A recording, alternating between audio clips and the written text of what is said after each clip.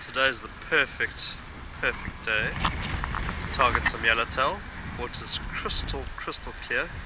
Have a look at that. I'm gonna throw my uh, my trusty green plug and see what uh, what happens. It's looking good, so I'm hoping uh, to get something. so the whole key about fishing the spots is um, basically to be looking for fish. Uh, nice clear day today, not a huge amount of wind, so um, you can see the fish uh, if they do come past. Um, so hopefully we'll see some fish, have a few casts at them. Um, otherwise most of the time is spent blind casting uh, and hoping that you get a fish. But uh, the tricky thing about this spot too is that um, a lot of the times the fish aren't really feeding um, when they move through this this area. Uh, they tend to to just be uh, moving along and they'll follow, but they're very hesitant to take your lure. Um, but yeah, we can uh, we'll have a look and see what uh, what happens. See if we can catch something. Um, it's also quite nice today. I'm the only one here. Um, I'm sure that'll change as everyone uh, finishes work. But yeah, normally if you see a fish, you want to try and sneak up to them quite uh, sneakily so that other people don't really uh, see you. So that you can at least have the first cast at the shoal. But yeah, let's, uh, let's have a few casts and see what we can get.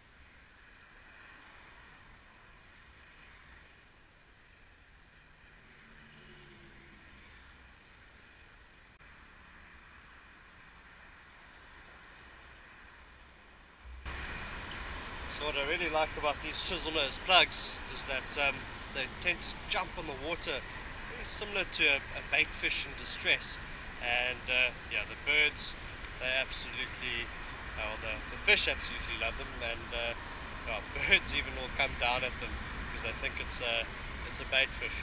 Um, what we'll do is uh, let's have a look and see if you'll get a good view of them of the action in the water.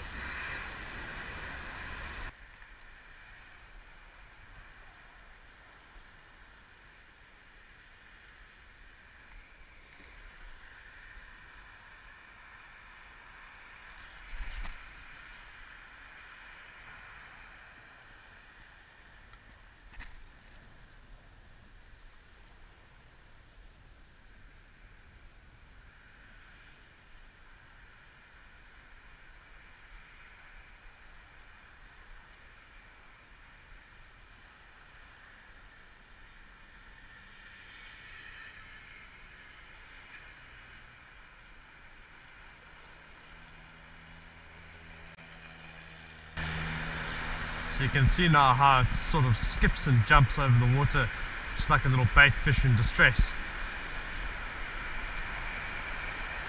And that is like yellowtail candy.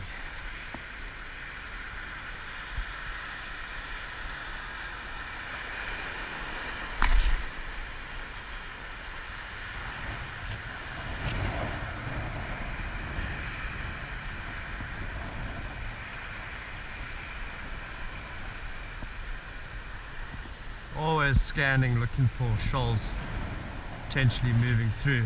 Can be quite hard to see. So uh, I always want to look out for anything unusual. There was a splash in the water there but that's a seal. Also keep an eye on your lure because uh, a lot of the times especially with the long casts uh, they'll follow your lure in and sometimes you can bring a huge shoal of fish in um, and then just cast at them again. And normally that's when you get your hookup.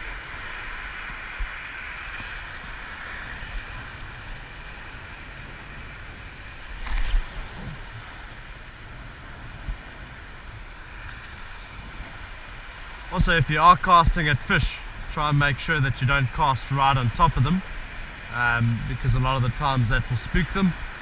Um, try and cast just in front of the shoal and uh, yeah, then they come snapping at you quite quickly.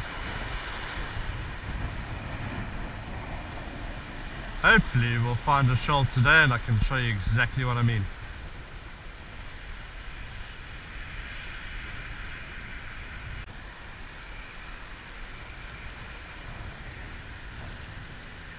Yeah, seal jumping right out the water there.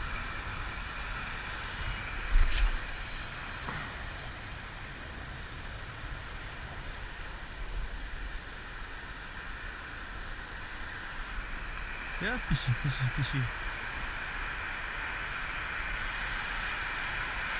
So I think I might have seen a piece out there. Could just be wind. Might be a school of fish. Gonna go and have a few casts of it.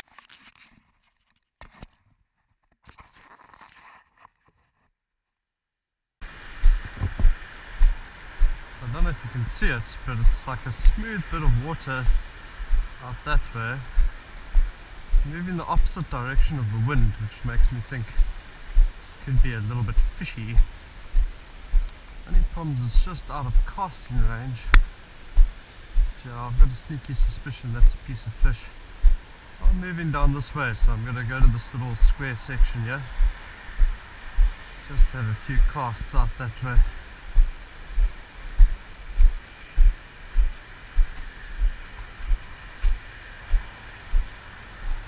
Just keep eye on from here.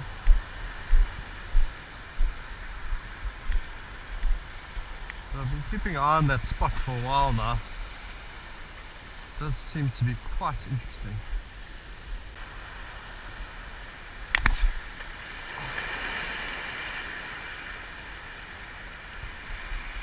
Gonna have a few other casts here while I wait.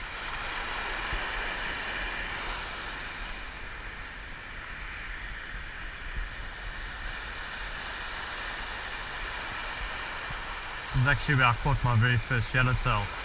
From this exact spot.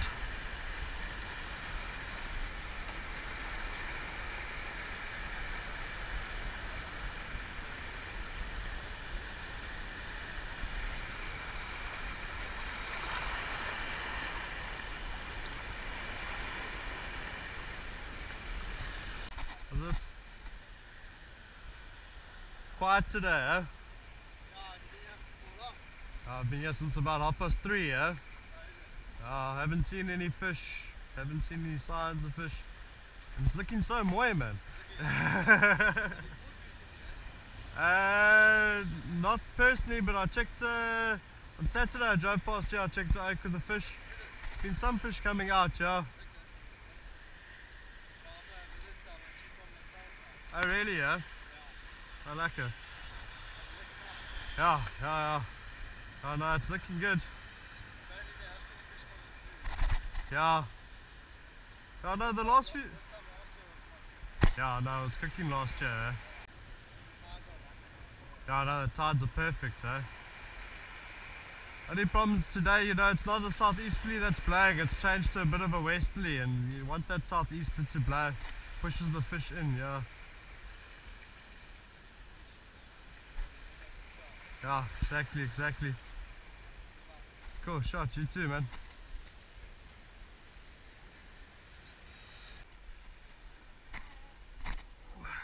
So I ended up getting a wind knot um, and uh, had to retie, decided, okay, well, I'm going to retie my, my leader um, back onto my braid um, because I didn't want to try and undo the wind knot.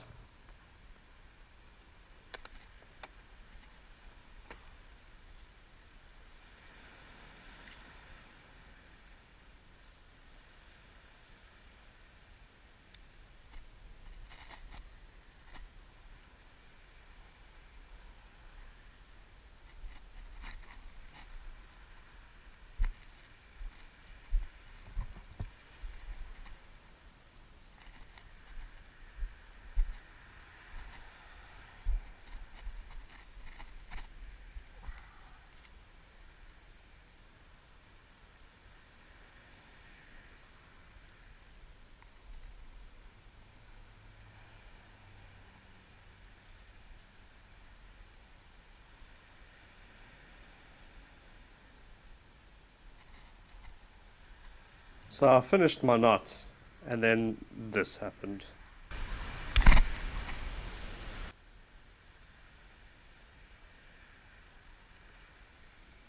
So I figured, well, well, let me just tie a new knot. Maybe that wasn't the greatest knot.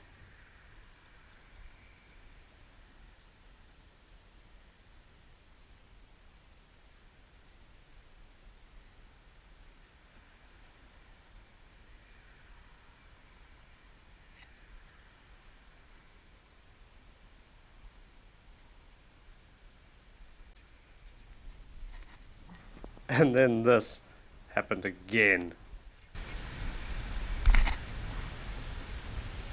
So uh, I tried to, to, to tie another knot because uh, I was tying an FG, but um, uh, it was some of the first FGs I'd, I'd ever tied, and I was hoping that uh, it was the knot. Um, so I did a bimini twist and uh, joined it with a figure of eight to figure of eight, and the knot broke again, and I realized my braid was well worn and I'd have to switch my braid around so that was the end of my fishing.